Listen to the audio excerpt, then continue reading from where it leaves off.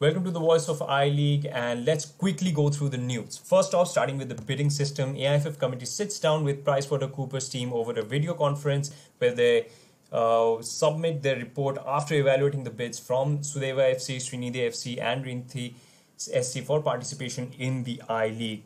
After a lot of evaluation, it was concluded that more clarification is needed in this matter. So by 5th of August, the final reports have to be submitted and then the documents will be evaluated and then the final decision will be taken regarding the participation of these three teams in the upcoming I-League season.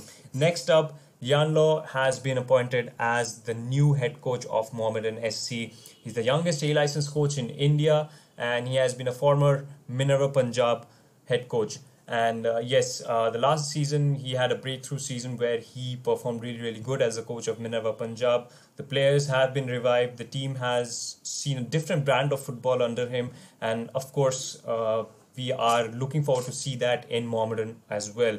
It's not only good for the Mom, uh, Mohammedan team, but it's also great for Bengal football and I League second division in general. As the gameplay, uh, he's young, and uh, the ideas that he can bring on uh, bring to the table is going to be uh, worth a lot. And we have seen that change in Minerva Punjab in the last season. They performed brilliantly under his guidance, and also as a as his reputation says, he is uh, reputed uh, uh, on the on terms where he's very good at, at man management and yes, uh, he's as young as the players, if not younger.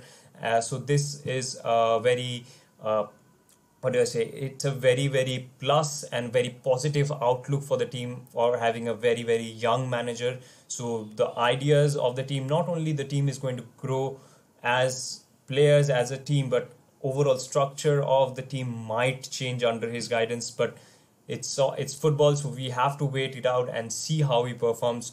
Uh, of course, we can't wait to see him on the sidelines uh, of Mohammedan SC uh, also in the CFL as well. So Bengal football and I League are going to benefit from this. So if you like this, share, subscribe, and to stay updated, of course, ring the bell icon so you will stay updated with all the I League news. So this is Voice of I League presented by Quadcober Sports. Hope you liked it, and we'll see you in the next one.